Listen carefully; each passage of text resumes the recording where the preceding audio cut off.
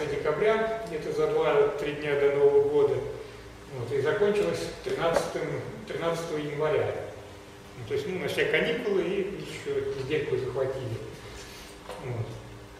Значит, э, место проведения экспедиции урочище Сары Талы называется, в Кабардино-Балкарии, рядом с Нальчиком находится массив. Вот. Ну, вот участники этой экспедиции. Экспедиция была организована с клубом Перова. Вот. это Григорий, это руководитель данной экспедиции. В основном здесь все спелеологи именно с этого Перова спелевого клуба. Это вот первая смена. Ну, было как бы две смены. Первая была где-то числа до 7-8 января, вот, ну, как раз до окончания праздников, а потом приехали еще люди, которые недельку еще продолжили. И кто-то оставался, ну, был на, на две недели. Ну, это вот штаб-квартиры Перова Сперева. Здесь вот все, все снаряжение собирали, подготовили кучу веревок, трансы с веревками, там, всякое снаряжение, упакованное в ящики, вот в герметичные емкости, газ. Так, это вот уже фотография второй смены. То есть те, те, те люди, что были на первой фотографии, уехали, а приехали другие. Ну, поменялись немного. При, приехали также люди вот из Крыма еще. Ну, это вот уже и в пещере. Мы там на, в начале на, начали обследовать там пещеру Су, Суакан называется. Вот рабочие такие фотографии. Ну, помимо обследования уже известных пещер, были еще поисковые экспедиции. Вот люди ходили по поверхности и примечали, где какие вот провалы имеются. Ну, здесь на фотографии виден очень хороший провал, вот. Ну, в него лазили, он, правда, очень там быстро затыкался. Вот. Но если там что-то под, начать разгребать, то возможно, что данная пещера будет иметь и продолжение. Тут, правда, немножко так фотографию в раз, разноборе смотрю. Ничего. Вот. Ну, это вот, значит, высота где-то порядка одного километра от уровня моря. Вот. И туда идет горная дорога. Вот, и туда основная группа приехала вот на ЗИЛ-131. Вот это процесс. Уже приехали, мы там сняли комнату в Коше, ну, с пастухами. Там печка есть отапливаемая, ну, то есть помещение отапливаемое. Потому что хоть там и юг Кавказ, но тем не менее в горах, но там все-таки температура отрицательная, минусовые. Поэтому холодно. Вот идет процесс разгрузки. Вот это вот сушатся комбинезоны. Вот. А так вот выглядит изнутри эта комната. В общем, там сделали нары такие двухэтажные, и вот народ, так сказать, штабелями расположился. Там человек, наверное, 30 было вот единовременно в этом помещении. Ну, это в первый день. Потом значит, организуются подземные базовые лагеря, и часть народа уже в них ночует. Ну, располагались люди. Это руководитель экспедиции. Ну, это вот очередная группа в сборе собирается вот выходить ну, на исследование пещеры. Вот. Перед тем, как уйти, все группы записываются в журнал. Когда экспедиция заканчивается, каждая группа себя выписывает из журнала, ну, что все, все в порядке. Если кто-то не придет до контрольного срока, ну, начинается спас работы. Ну, у нас, к счастью, ничего такого не было, все было благополучно. Вот. Ну, это вот батарейки к перфораторам. Вот основная задача при обнаружении пещеры – это топосъемка. Вот. Ну, это вот топосъемка массива, как, ну, рельеф местности, вот, где какие пещеры, это вот спуск в пещеру главной калибр. Чтобы в нее спуститься, надо вот, значит, сначала там наклонные трассы идут, ну, метров 100-150. Потом вот э, в районе 50 метров надо вот вертикально вниз спуститься в ущелье. Это вот Самохин с, э, с, этого, с Крыма человек. Вот так вот выглядит спуск. Человек уже внизу. Вот. Сам главный калибр это является притоком реки Нальчик. Из этой пещеры вытекает вот начало реки Нальчик. Вот внизу видно, что вот эта река дальше уже течет по ущелью. Ну, это вот вид, так сказать, во время спуска вот можно наблюдать такой вот, э, так сказать, застывший водопад, замерзший. Это уже вид из пещеры. То есть вход в пещеру находится как бы где-то в середине на отвесной стене. То есть вниз 50 метров и вверх 50 метров. Вот люди спускаются сверху вниз, и за, ну, там есть такое окошко, и через это окошко попадают в пещеру. Это вот вид ущелье. Это вид из пещеры. Вот видно, что вода вытекает из пещеры, тут в виде водопада, и дальше уже по ущелью течет мальчик. Это вот группа крымчан. Вот, это где-то при входовой части. Вот. Дальше видно, что тут все обводнено. Все они э, под низом имеют гидрокостюмы, сверху спелеокостюм, так как гидрокостюм довольно ну, непрочный, может порваться, поэтому сверху одевают обычный спелеологический костюм, ну, чтобы предохранить гидрокостюм. Это вот э, подземный базовый лагерь, так выглядит. То есть обычную палатку в виде купола смысла нет, там как бы ветра нет, поэтому вот они имеют такую прямоугольную форму, вот, и на оттяжку закреплены. И там люди ночуют. Это вот наша фотография возле этого базового лагеря. Еще одна.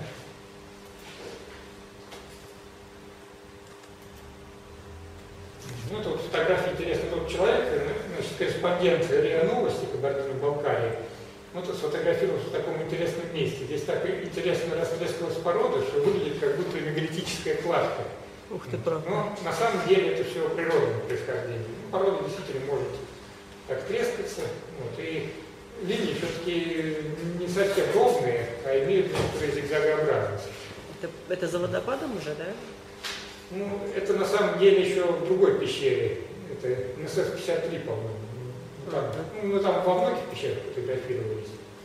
Вот. Ну, это ЗИЛ-131, который вот привез. Вот. Это уже отъезд группы, чтобы все снаряжение закинули в ЗИЛ и поехали. Ну, это я на входе в Суакан. Ну, это группа, идущая на очередное задание. Это вот Суакан называется пещера. Вот это спуск в основной колодец. Это вот э, то же самое, но вид снизу вверх. Вот это уже как бы ну, окончательно, когда мы спустились вниз, это порядка там общая глубина где-то метров 50. Вот, и вот как бы ну, мы вот оттуда сверху спускались. Вот мы уже спустились, внизу тоже небольшая речка течет. Ну, мы тогда вчетвером ходили, все четверо. Там в дальней части пещеры, если вверх по течению пойти, там были найдены кости. Ну, это типа какое-то там древнее животное, там, то ли мастодон, то ли еще кто-то, я честно, не помню. Вот, но они попали благодаря тому, что здесь вот пещера как бы заканчивается, и ну, заканчивается осыпью, ну, осыпанием. Там как бы имеется колодец, в которой на протяжении там, тысячелетий, наверное, постепенно вот порода проседала, и, видимо, вот кости с поверхности попали вниз. И их там вот обнаружили. А мы тут, по-моему, фотографию, даже не помню, то первый, то второй смен, или когда вот отъезжать уже. Ну, все, фотографию мы закончили. Так, Месяц какой? Это январь.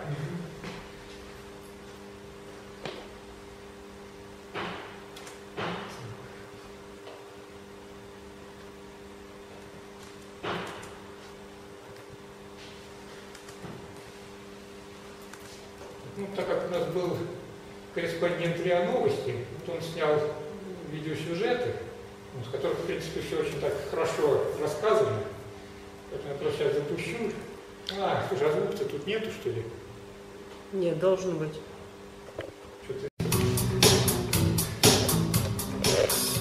Будем экранку снимать. Ты, может, выложишь просто в группу? нет. Массив Сарытала привлек внимание московских спелеологов. Известные в советское время карстовые пещеры, забытые надолго, а лишь два года назад вновь были обследованы местными энтузиастами. В начале же этого года группа исследователей пещер из 16 человек приехала в Кабардино-Балкарию в опасное зимнее путешествие за разгадками тайн урочища Сарытала отправились и мы.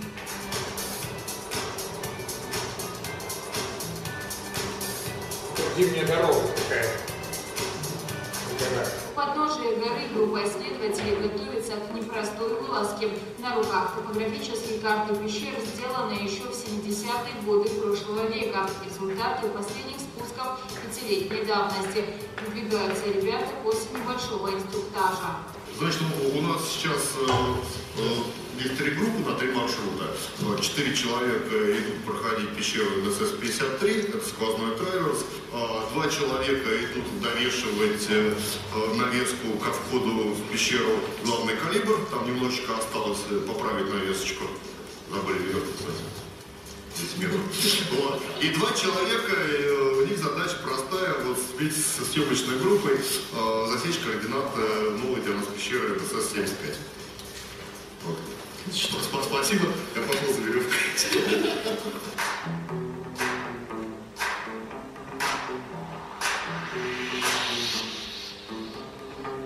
Пещера главный калибр, основной объект исследования. Путь туда требует дополнительной подготовки. Придется спускаться со снаряжением в. А пока по лесу в пещере НСС-53, названной в честь первооткрывателей Нальчикской секции спелеологии. Это сквозной траверс. Вертикальный спуск на 40 метров и длинный проход, выходящий прямо в каньон реки Нальчик.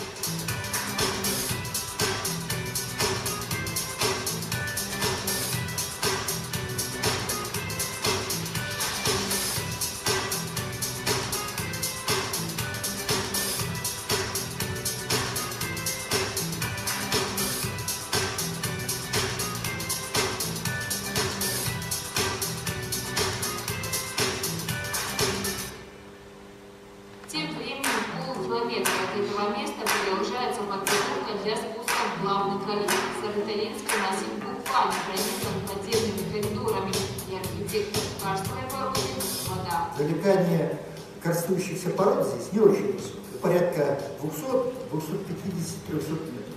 Значит, и глубина пещер, залегающих на этой территории, вот должна быть на этом где-то, на этой глубине. Вполне возможно, то есть максимальная глубина. Но само по себе протяжение этих пещер, ну, разломы, разломы, разломы, разломы, значит, особых длинных пещер мы явно не можем ожидать. Ну, порядка двух, трех, четырех, может быть, пяти километров.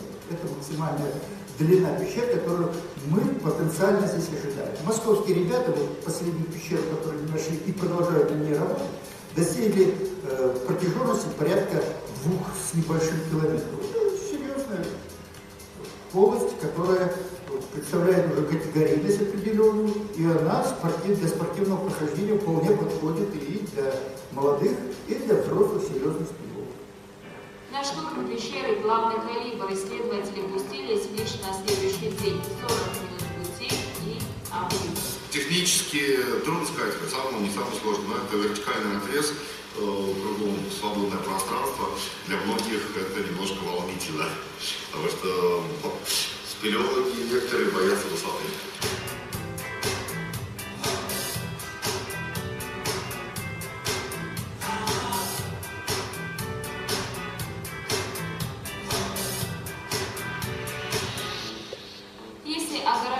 Боязнь открытого пространства для спелеолога дело поправимое, то клаустрофобия – приговор.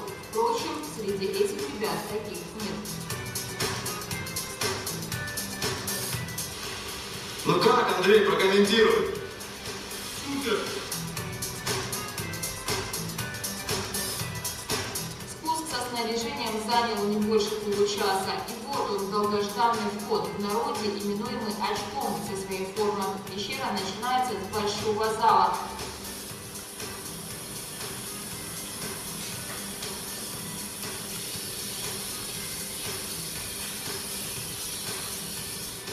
Шум воды, который слышен даже наверху, здесь оглушает. Подводная река с грохотом срывается вниз, образуя водопад. Небольшая передышка, прежде чем двинуться дальше. Пещера очень зябка. Без согрева не обойтись. Чай лучше согрев. Перовские спелеологические клубы исследуют эту пещеру с 1978 года. В 2010 было обнаружено ее продолжение, а год спустя члены клуба поднялись по 10-метровому подземному колодцу. В настоящее время известно около трех километров ходу. Нежданным гостям обитатели темного царства летучей мыши интереса не проявили. Между тем, освещая фонарями темные коридоры пещеры, спелеологи пробираются дальше.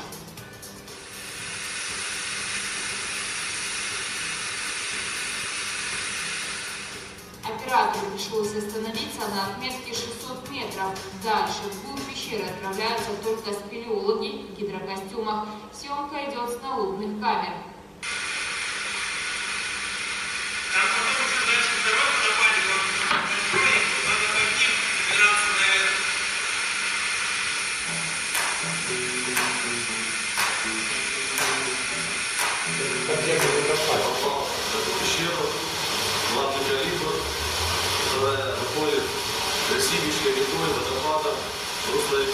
Нальчик. Спуск нелегкий, подъем, полагаю, будет намного сложнее. Ну, оно того стоит, на самом деле. Это, это чудо, это памятник природы, который за всю, наверное, историю его существования десятки, может быть, не больше. Для нас это огромный опыт, огромная радость, такие группы у нас сюда приезжают, и они готовы делиться опытом, знаниями, мы готовы помогать здесь, учиться у них, потому что они знают больше, что-то им показывают из того, что они знают.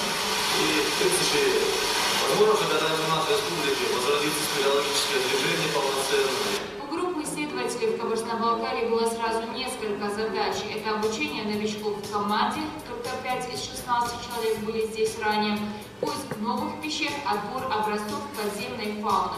Конечно же, главная цель экспедиции – подъем в главном калибре на два ранее обнаруженных уступа и топосъемка новых коридоров. В результате удалось осуществить только половину задуманного. Очень мало и слабо изучен. А, Пещера представляет из себя пещеру-источник, из нее вытекает э, большой ручей, можно сказать, настоящая река. А, Протяженность этой пещеры на данный момент э, известна 2,5 километра ходов. А, При этом пещера продолжается вглубь, Сахалинского массива. В настоящий момент э, прохождение пещеры э, остановлено технически сложным препятствием.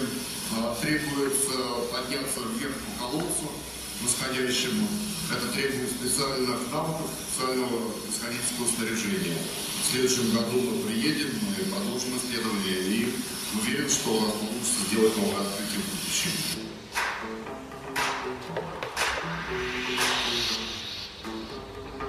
Столичная группа спелеологов намерена вернуться в Кабардино-Балкарию, чтобы обследовать ряд других пещер. В частности, их заинтересовала так называемая Педыкская, одна из самых крупных и малоизученных в Кабардино-Балкарии.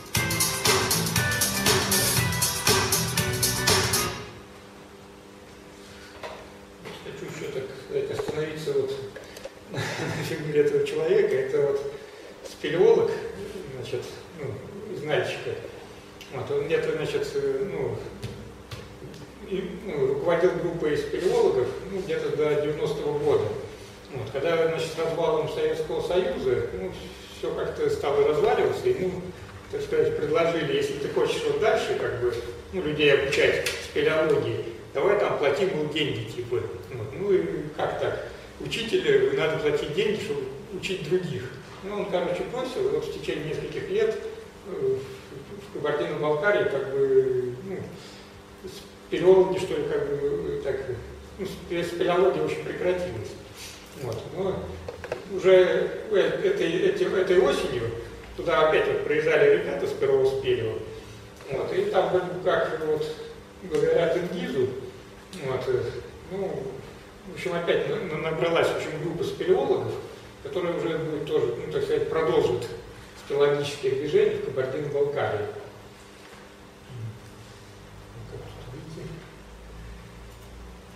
Ну, ну, следующий сюжет давайте посмотрим. Это все тоже вот Тенгиз делал.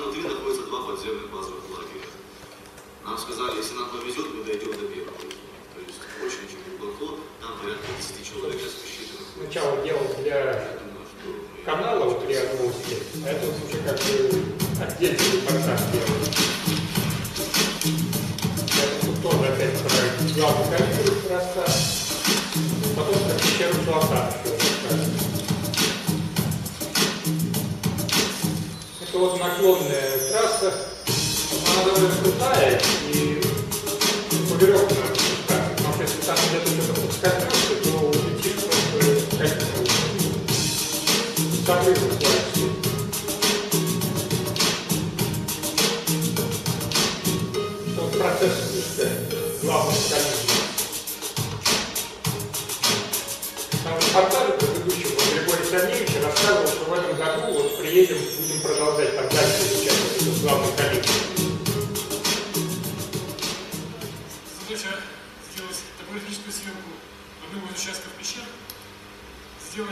геомагнитную локацию, привязку пещер к местности поверхности специальным прибором тренировым излучателем. И э, а еще одна задача сделать восхождение в неизвестных частей пещеры и, видимо, найти, постараемся найти новую часть пещеры. Исследование геоморфология, микроклимат, Э, микробио- подземная биология, какие интересы научные. Гидрология подземная, ну, геология. Фактически мы сейчас с вами являемся первооткрывателями земли Кабардино-Балкарии. Это больше не осталось, в Кабардино-Балкарии не осталось белых пятен, кроме подземли. Когда изучаем подземное, подземное пространство, мы совершаем великие ге- геофизические открытия.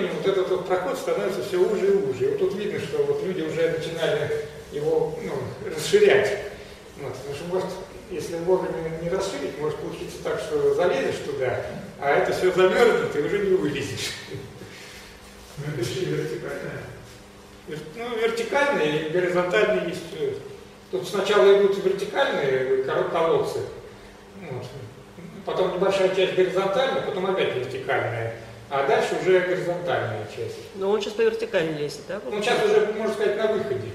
Вот, вот там у него, э, как бы внизу, там вот, колодец. Вот, вот он поднялся из этого колодца, вот, он ну, в прифронтовую часть, и выползает. А если не прорубать, то можно будет потом вылезти? Ну, вот лед не прорубать своевременно, потом снизу его можно там? А, ну, в принципе, а можно. Отдолбиться можно, если, если, если ну, есть чем? есть, да, если есть чем, можно, конечно.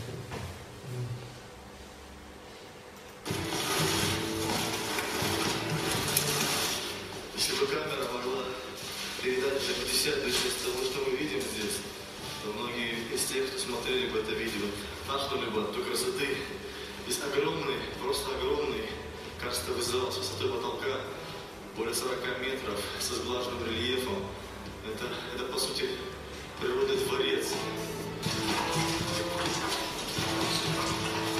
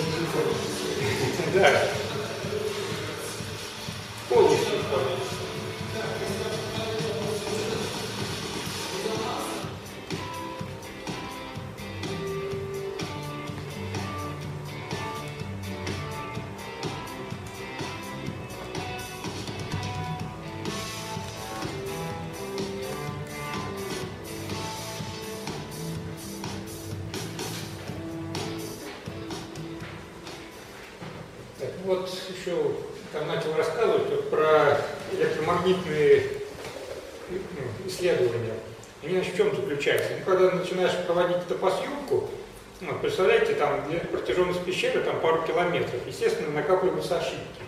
А желательно привязать, так сказать, э, ну, подземную пещеру к поверхности. Вот. Поэтому вот это электромагнитное исследование заключается в том, что значит, берется обруч такой, ну, обмотанный проводом, вот, устанавливается ну, где-нибудь там, скажем, в вертикальном колодце.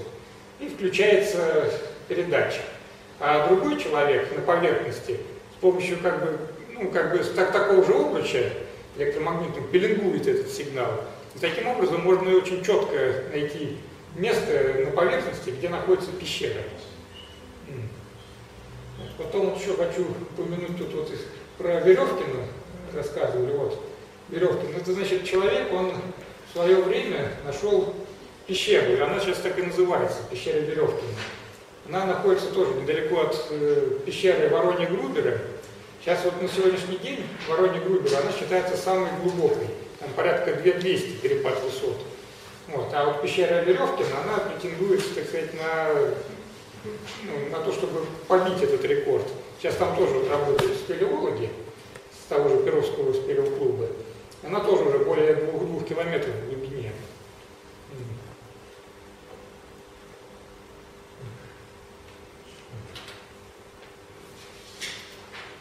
Ну, помимо еще было там упомянуто, что мы занимались сбором биожирности всякой.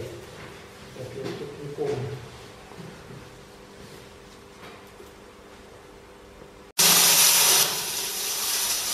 Ну, тоже рабочий момент. Вот как бы пещера, вот как, как, кто скажет, каких размеров? Ну, Сейчас вот увидим, человек подойдет. Ну, ну не маленькая вроде как.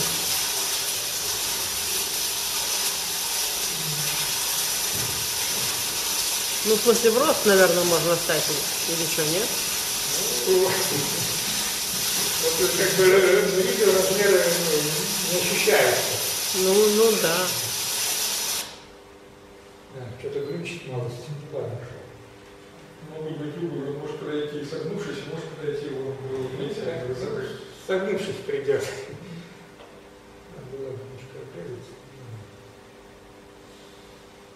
Не с чем сравнить, поэтому совершенно Ну да. Любая может быть. Хоть, хоть полметра, хоть десять. А что это за пещера? кон- Ну, это я уже не помню даже название, по-моему, П-18 ее так. Ой, да там только одна рука пролезает. Маленький проход. Шкурничек практически. Ну, не шкурник, шкурник, Ну, ну, там ну, еле-еле да, про- да. пролазишь, а тут довольно человек все-таки мог пролезть.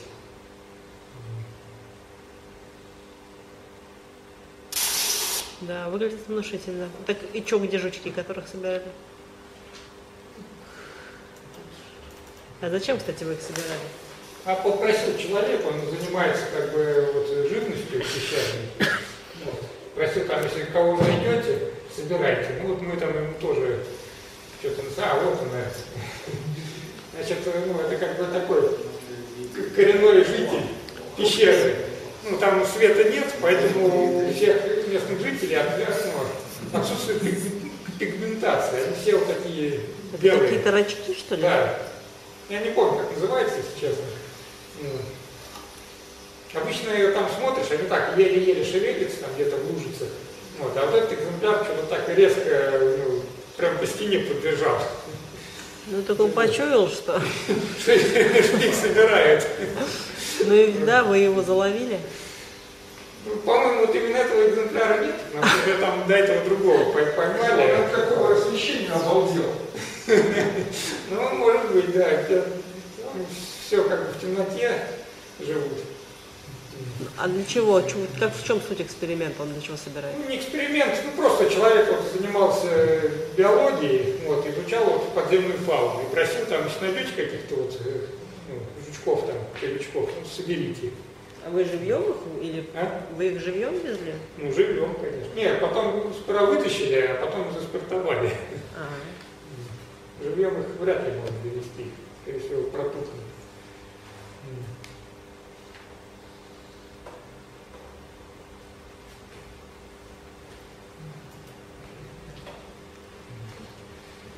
Так. А, ну еще вот можно посмотреть. Ну, это просто с GoPro, ну, как мы там ходим.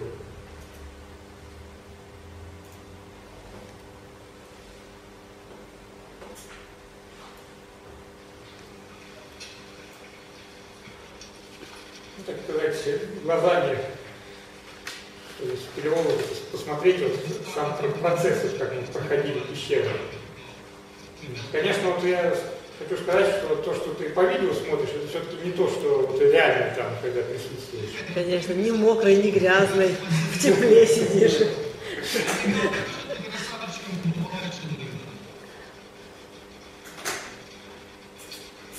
Кстати, эта пещера довольно такая чистая. Вот в главном калибре там есть такой шкурник, там пока пролезешь, вылезешь, вот совершенно с ног головы. Вот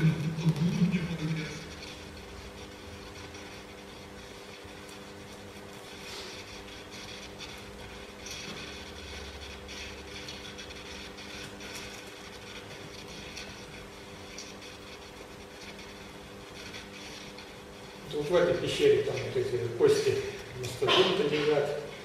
Еще говорят, что якобы в этой пещере нашли кости динозавра. Но когда их нашли, там археологи только узнали, сразу эти кости себе забрали. Ну, это они оказались на самом деле? Ну, В смысле, кости да. динозавра? Да. Ну, там просто имеется засыпанный вертикальный колодец, и вот, видимо, через этот колодец постепенно там как бы кости и попали в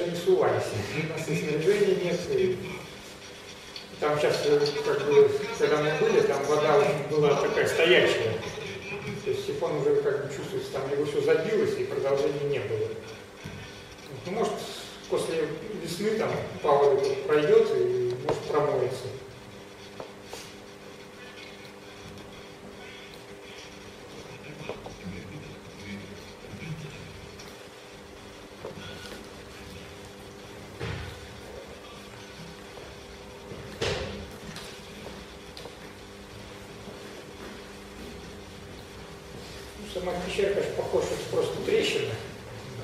Дальше уже начало промываться водой. Ну,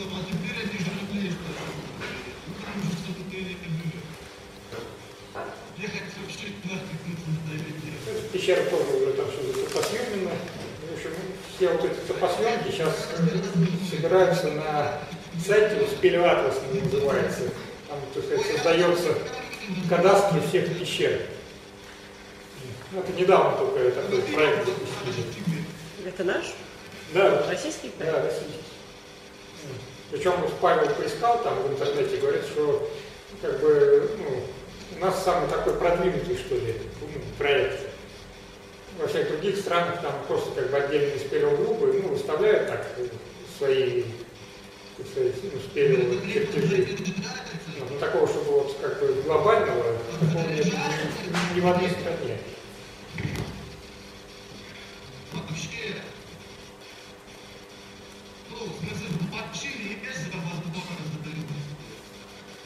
Это здорово. Ты ссылку кинешь? Ну что?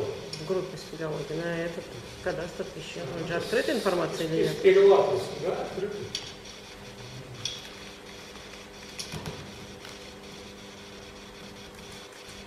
Ну, Вот так вот примерно выглядит спелеоэкспедиция.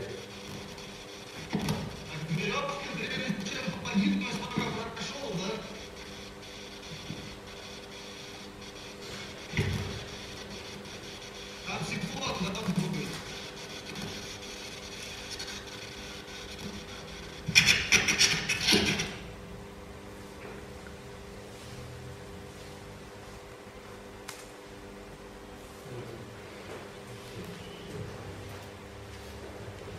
про зимнюю экспедицию я так вроде более-менее рассказал.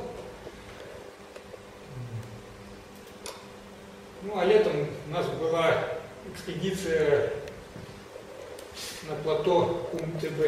Вот я, ну, тут, значит, вот эти все фотографии многочисленные, это все делала Валентина Леонтьева. У нее был очень хороший фотоаппарат. Поэтому я просто сейчас запущу тут как бы слайд-шоу. И сказать, немножко предыстория. Почитаю.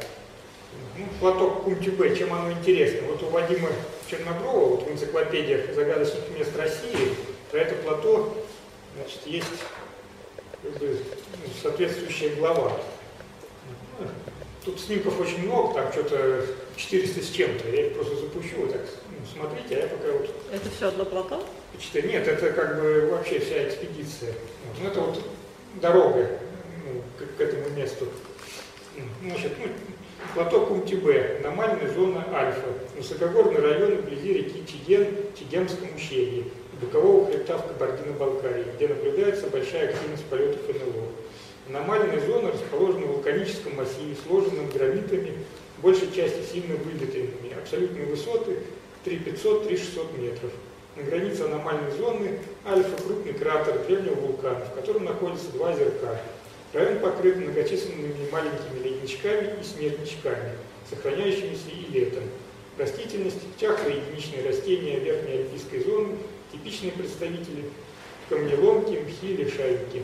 Что касается появления НЛО, то для примера можно перечислить несколько наблюдений, сделанных квалифицированными специалистами.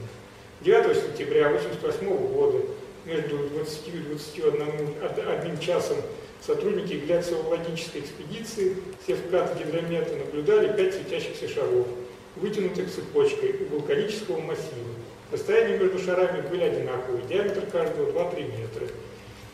Тот же день, в 24 часа, несколько отдыхающих высокогорной турбазы видели над вулканическим массивом пять шаров, построенных двумя рядами, три в верхнем и два в нижнем.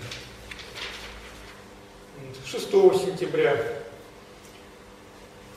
то тот же отряд гляциологов наблюдал, сфотографировал белый светящийся шар.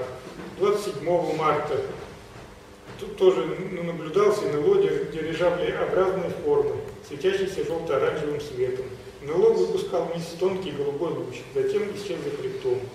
3 июня 90 -го года над горным вулканическим массивом заметили куполовидное свечение. Свет ярко-желтый, по краю красный кальмар. Продолжительность явления около 30 минут. Вот. На основании этих и других наблюдений было принято решение о проведении разведывательной экспедиции в предполагаемую аномальную зону. Экспедиция Ростовской секции по изучению аномальных явлений семи человек, в числе которых был подмогильный, состоялась в августе 90 -го года. Базовый лагерь находился на высоте 3600 метров, в 4 километрах от места вертолетной высадки отряда. Ну, вот они тут описывают ну, свой отчет. В начале работы было облачный ветер, затем прояснилось. Над лагерем горели яркие звезды. Присмотревшись, с удивлением увидели над собой гигантский колпак, похожий на хрустальную сферу, поблескивающий от мерцания звезд. Размеры где-то 0,8-1 километр в диаметре, около 300 метров в высоту. Через 30 минут в районе кратера появились светящиеся столбы, входящие в звезды. Цвет серебристо-голубой. В стороне кратера несколько раз наблюдалось неяркое серебристо-мерцающее свечение. Попытки применить биолокацию с целью выделить, выделить аномальную зону ничего не дали. Рамка крутилась в руках оператора с постоянной скоростью, не выделяя отдельных объектов. Три часа ночи в 200 метрах от палаток по дну долины стали зажигаться огни, зеленовато-изумрудные, искрящиеся шарики диаметром не более 20-30 сантиметров. Вспыхивали через равное расстояние, 8-10 метров, и равное время, 3-5 секунды. Когда засветилась гирлянда из 20-22 огней, через 15 секунд все мгновенно исчезло. За следующие два дня были осмотрены окружающие горы и отроги. Спускались в кратер, по внешнему впечатлению, не похожий на вулканический. Были взяты пробы воды озер. На третий день на широкой террасе, находящейся на гряде, усыпанной обломками гранита и отчасти задернованной, было найдено несколько круглых пятен диаметром 5-7 метров, в которых погибла вся растительность. От одного из таких пятен веером расходились три темные полосы длиной 70-100 метров, шириной 3-3,5 метра. Ну, я тут не буду особо так прочитывать, на это ну, не столь интересно. Вот. Ну, вот, как бы, имея такую вот информацию, как бы из книги, ну, было вот решено, ну, мы там регулярно проводим экспедиции, вот решили, значит, посетить эту зону. Ну, у нас как бы на самом деле больше получилось как бы чисто туристическая экспедиция. Значит, ну, скажу сразу, никаких НЛО мы не увидели. Вот. Ну, за все время наблюдений там ну, прилетело два самолета, это очень так конкретно было видно. Это что один раз видели какую-то светящуюся точку, явно где-то высоко в небе, но она в скором времени зашла за гору, вот, и ну, идентифицировать было очень сложно. Может, это просто спутник был какой-то. Значит, ну это мы посетили там еще в районе села Тюбю, там такой вот старый город, город мертвых. Вот, вот в древности сделали вот зачем такие домики, вот, непонятной конструкции. То есть у них не жили, что ли? Чего? Не жилье это? Нет, это, скорее всего, не жилье, это то ли захоронение. Нет, там э, умерших хоронили. Ну, может быть. Ну, на самом деле, умерших там и в других местах хоронили.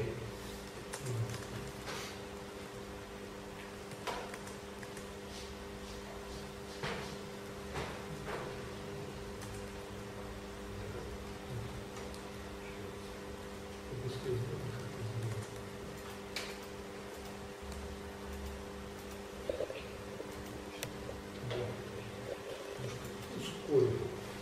Вот. Ну, у нас, значит, э, экспедиция, когда началась, мы поехали на двух машинах.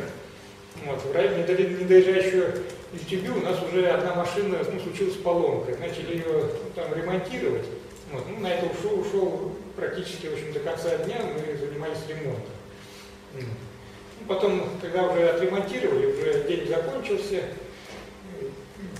на- настала ночь, мы там переночевали на полянке, вот, поехали дальше. Значит, это ехать туда надо по Чегемскому ущелью.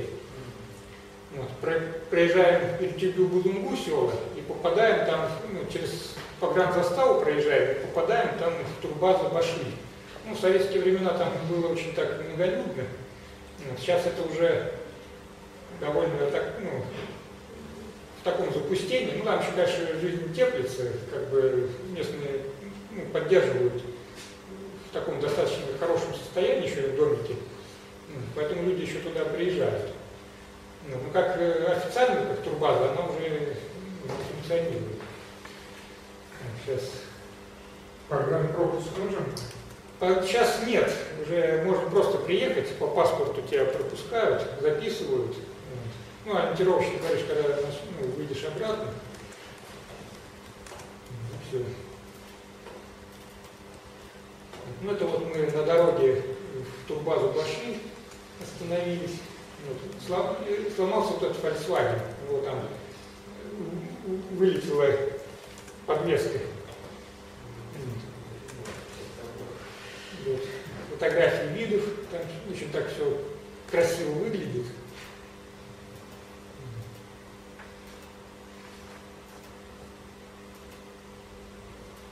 Мост через речку Чигем.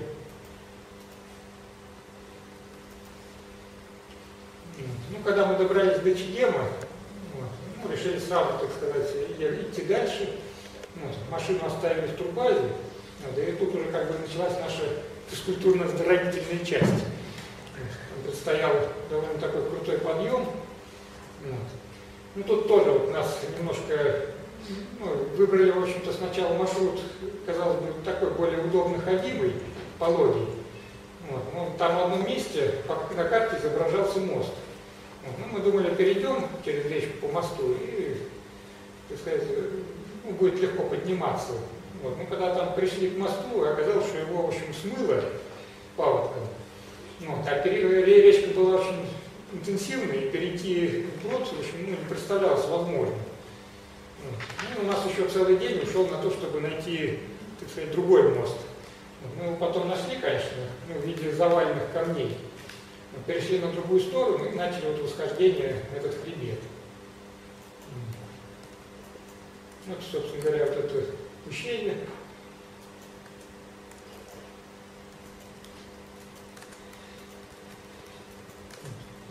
Пещер там не было, конечно. Нет, в этом Район не кастующийся.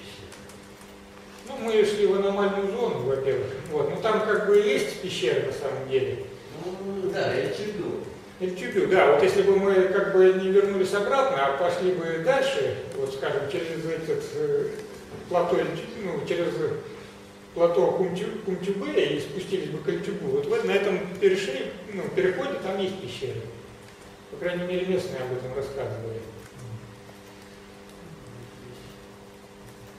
Ну, может, вот в предстоящем году удастся как бы, по-другому организовать экспедицию. Ну, дело в том, что пока мы поднялись вот на перевал, вот, ну, люди уже сильно устали. Вот.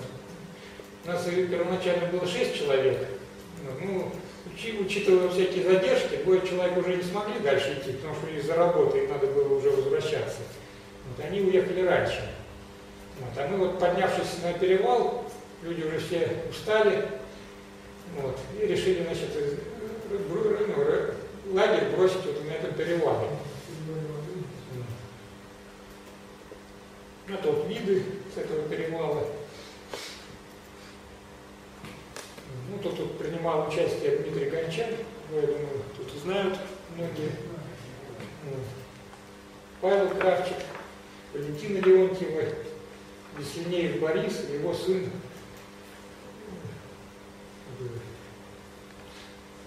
Забыл даже, как зовут.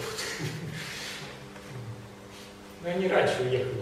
Мы вчетвером остались на этом перевале. Вот, и на следующий день уже ну, двое участников не смогли идти, и мы вот с Павлом вдвоем пошли дальше. Вот так вот выглядит наш лагерь уже с небольшой высоты. Ну, Там на перевале еще памятник установлен. Как перевал Кому? называется?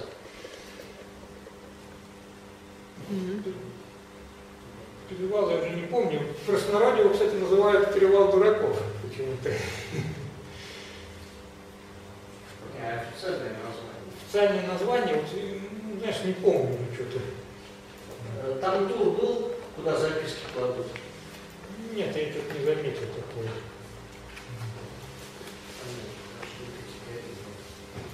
Ну, категория там что-то такая небольшая, 2А максимум, или даже 1А. Нет, нет, а, что-то там, такое. скорее всего, вообще не категорийные. Ну, очень низкая категория. Там, значит, ну, почему именно этот маршрут еще был выбран? Потому что в 90-е годы там, на самом деле, вот э, отряды пионеров уводили даже. Ну, то есть, с виду, как показалось, все очень просто, но так как там уже давно никто не ходит, вот, это все оказалось немножко сложнее. Ну, моста уже не было.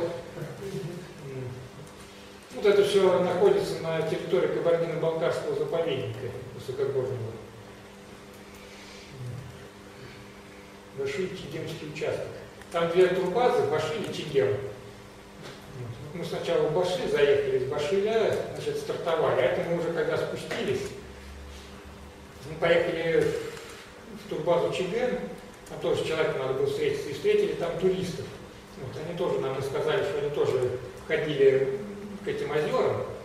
Ну, Сейчас еще покажу, мы все-таки с Павлом пошли и дошли до, этого, до этих озер. Там как бы разломы видно. Вот. Если эти разломы совпадут с топосъемкой трещины, ну, пока еще так сказать, наложения на поверхности не делали, то, возможно, имеет смысл как бы еще где-то поискать вот пр- продолжение, ну, может быть, э, дополнительные входы, ну, пройдя поверху по трещине, найти, может быть, еще какие-то возможные входы в пещеру. Это вот ну, у Павла смартфон, он на смартфон всю информацию ну, по топосъемке.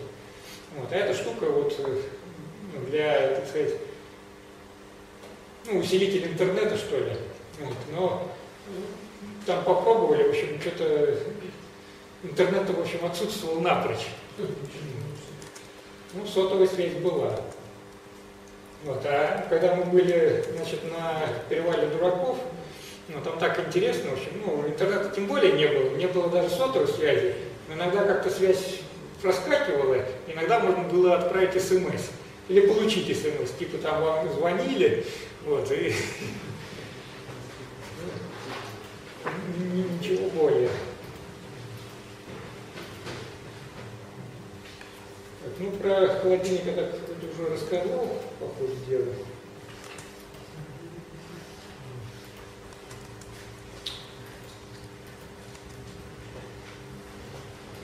Собственно говоря, за лето мы там довольно мало чего успели сделать. В нашем распоряжении было не так много времени. Ну, потом еще, это мы побывали на Голубых озерах. А это уже мы в э, Заюково. У нас еще на один день мы все-таки съездили в пещеру на Каракоре. Ну, про нее очень много писали, ну, вернее, это ви- видео снимали на РЕН-ТВ, показывали. Вот. Ну, наша задача была просто произвести уже топосъемку с помощью более современного прибора. Там, ко- короче, каких-то таких э, дальнейших продвижений в исследовании не было. То есть она запирается, да? Ну, пока да, там просто очень сложно вести какие-то раскопки, потому что Нет, вертикаль- уточните, можно, значит, упирается в глыбовый завал или в монолитную стену? глыбовый завал. А. То есть вниз как бы разгребать можно, но проблема в том, что когда начинаешь разгребать, начинает э, со стены ну, просто заваливаться. а. Вот, и становится как-то не очень хорошо, для этого как бы нужно много людей. Потому что мы обычно там, ну, 3-4 человека, это слишком мало, чтобы так что-то серьезно заниматься. М. Это просто э, там, Валентина фотографировал такой вот интересный, как, как дольмен все равно. Мы даже поднимали с него крышку в свое время. Да, думали еще под этой крышкой, может там какой-то вход есть. Ну, приподнимали, но что-то монолит. там монолита ничего нету. Это уж местные... Так что ее можно приподнять? Можно. Лом. Еще тогда с И Вадимом, когда, сила. да, Всё с Вадимом приезжали, он с девушками, вот я помню, их там три штуки было, и они как-то умудрились приподнять эту крышку, вот. Надо этого- правильно приложить силу. да, Артур Жемухов еще тоже эту крышку приподнимал. Вот, э, у всех как-то вот логика ну, одинаково срабатывает. Вот прямоугольный такой камень, а сверху такая вот полукруглая крышка. И вот ощущение такое, что просто закрыт какой-то вход. И все пытаются вот ее приподнять и посмотреть. Вот, ну, там ничего нету.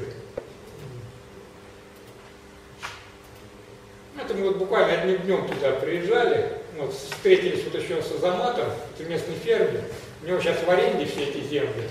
Вот, он тоже вот для дальнейшего исследования обещает там, ну, типа домики сделать. Да, на Каракоре.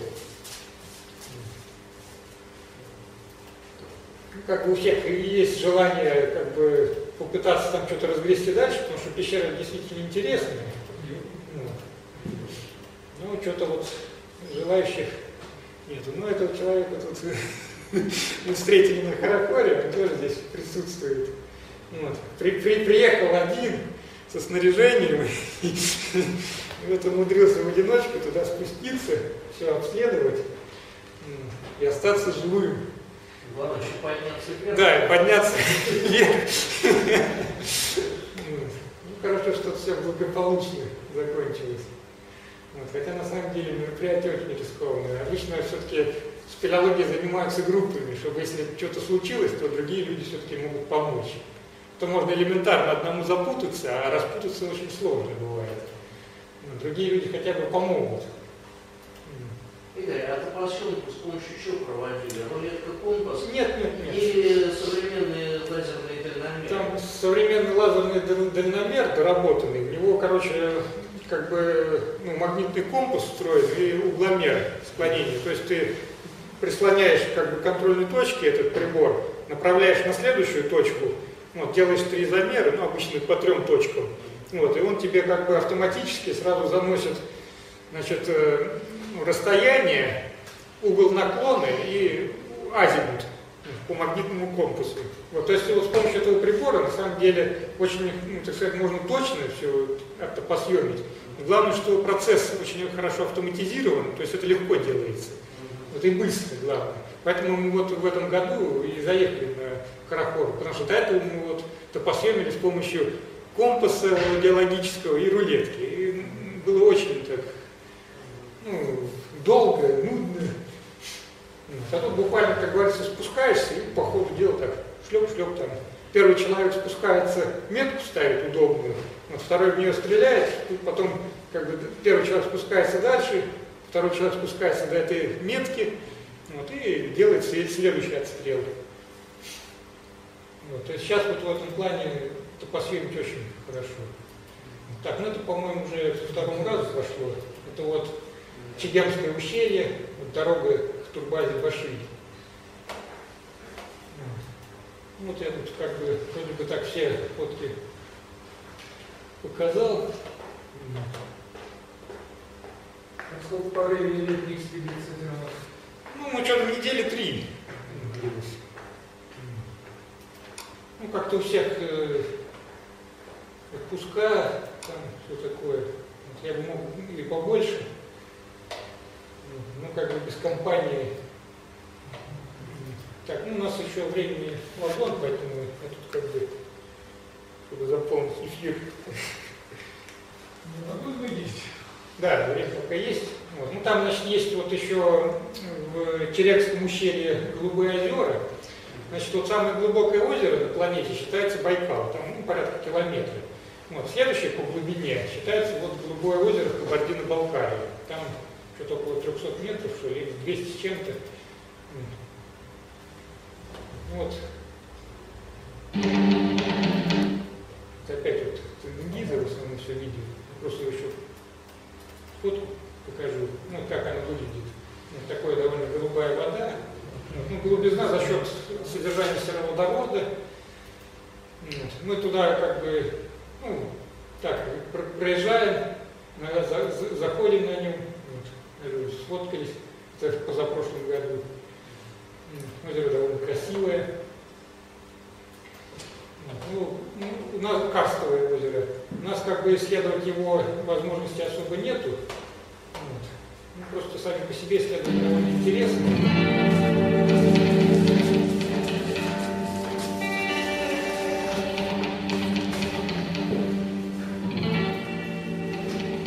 Прошлом году сюда привезли батискаф глубоководный.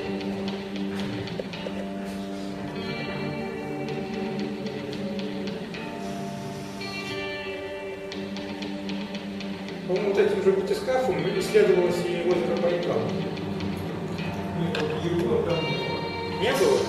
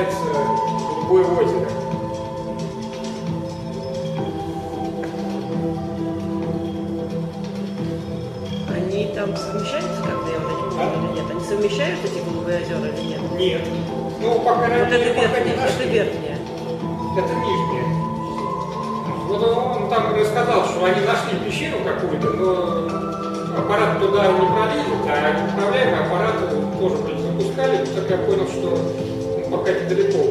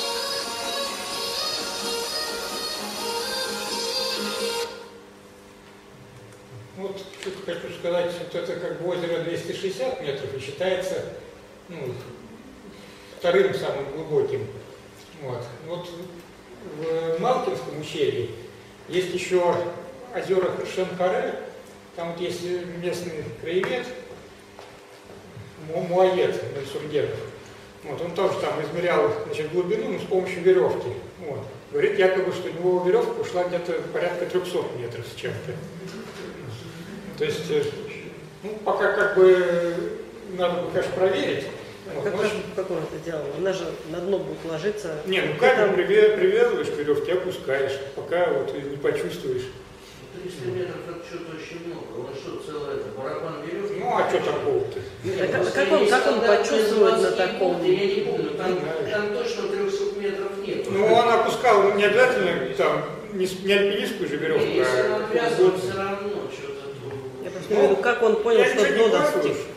Как он понял, что он достиг дна. Ну, веревка-то легкая, а камень тяжелый. Когда ну, тяжесть прекратилась, значит, все, камень не надо Потому что оставить. веревка имеет плавучесть. Чем она ниже, Ну, тем она тяжелее. И если она достаточно длинная, то она будет его удержать. Ну, Поэтому тут, конечно, слушай, ну, Борис все-таки 21 век, э, Ну, как бы вот есть тема, что надо бы тоже проверить. Вот.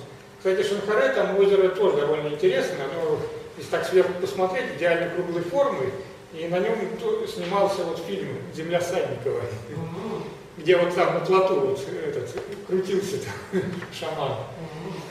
Вот.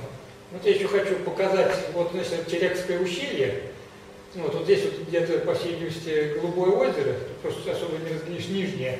Вот, верхнее находится где-то вот здесь, вот, по-моему, верхнее голубое озеро, вот здесь есть еще одно секретное озеро, вот, и вот нижнее голубое озеро. Вот, а у нас в этом году была экспедиция вот вверх, вот мы от э, верхних голубых озер, вот, не доезжая его чуть-чуть, вот сюда, по поехали, в ту сторону. Короче, есть сухое озеро. Да, есть там такой каньон. Ну, как сухое, вот секретное. Да. Нижнее сухое, секретное, верхнее. Да, надо вот так. Вот. Это все карстовые озера. Мы, значит, поехали, вот где-то дорога шла вот сюда, поехали вот сюда вверх на массив. Вот там искали еще пещеру под названием Белоснежка. Ну, мы ее, к сожалению, не нашли, у нас был только в распоряжении один день. Вот. Но там встречались и завели контракт, э, контакт с местными пастухами, они знают об этой пещере. Вот, обещали показать. Потому что наш спелеолог, он что-то вот, ну, уже забыл местонахождение этой пещеры. Вот. И вот, может быть, э, не знаю, как вот в, ну, в январе получится или нет. Ну, может быть, летом еще вот попробуем все-таки найти эту пещеру. Ну и поискать еще другие пещеры. Потому что вот озера карстовые есть, ну и, соответственно, должны быть и какие-то еще пещеры, которые питают вот эти, эти озера. Потому что вода там как-то прибывает все-таки. Вот. Вот верхнее Голубое озеро, там тоже вот, э, ну, его исследования проводились. Я даже слышал, что там какой-то ну, тайгер пытался даже на 100 метров туда опустился. Вот, и что-то, в общем, с ним там тоже нехорошо случилось. В общем, человек почти ну, чуть не погиб. Его там с трудом достали, и потом он несколько дней провел в барокамере.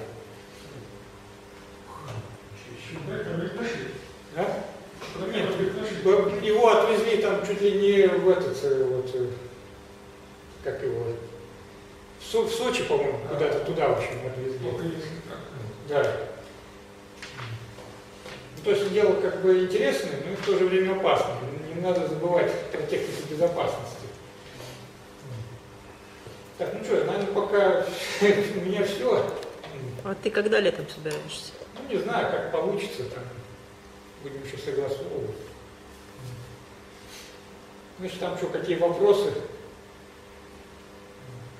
Может, что-то забыл, но сейчас что-то уже... А предположительно, сколько метров от дороги, э, или там километров от дороги, вот эта пещера Белоснежка? Ну, километра два, наверное. Ну, вот помнишь, мы тогда с тобой даже были, мы там, я не помню уже, если честно, докуда мы доходили.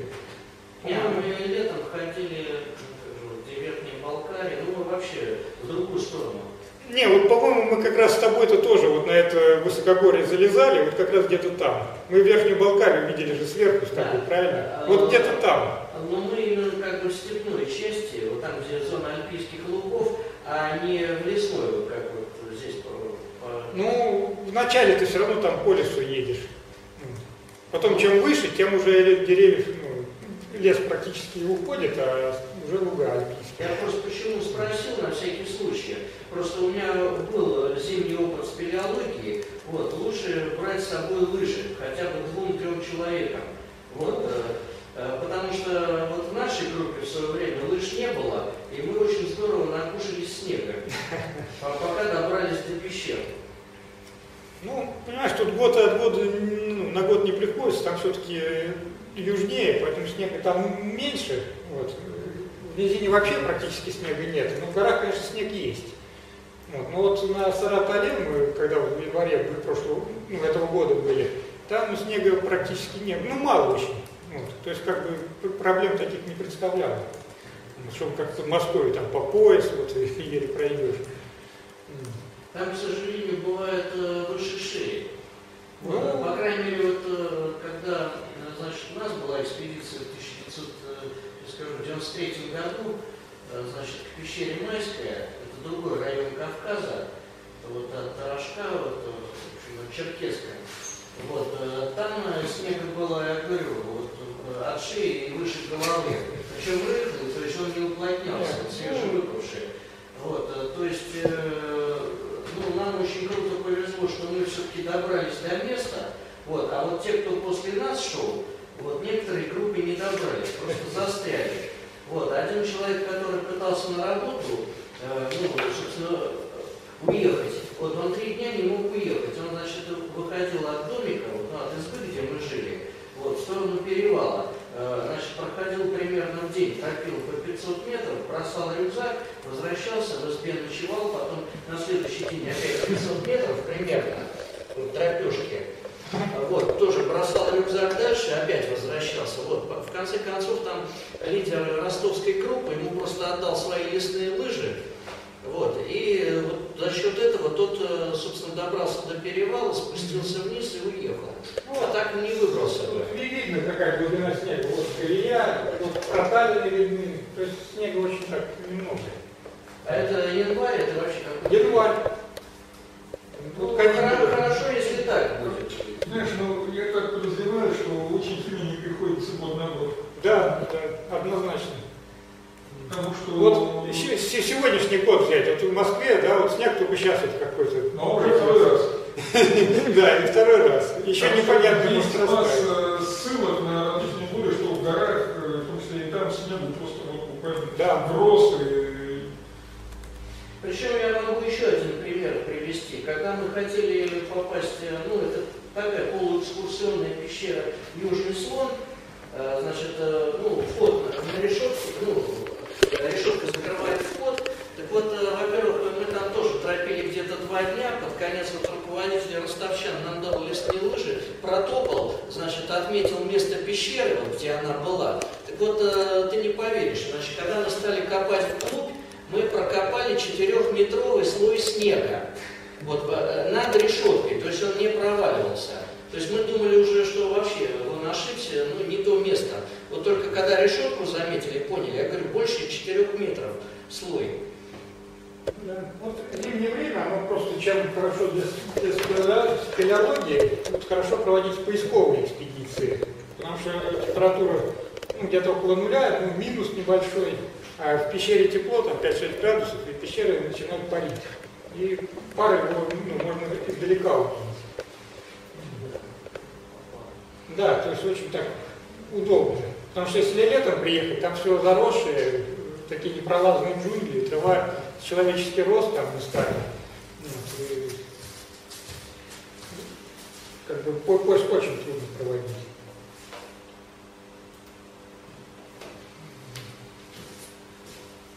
Ну, тогда что, все что ли?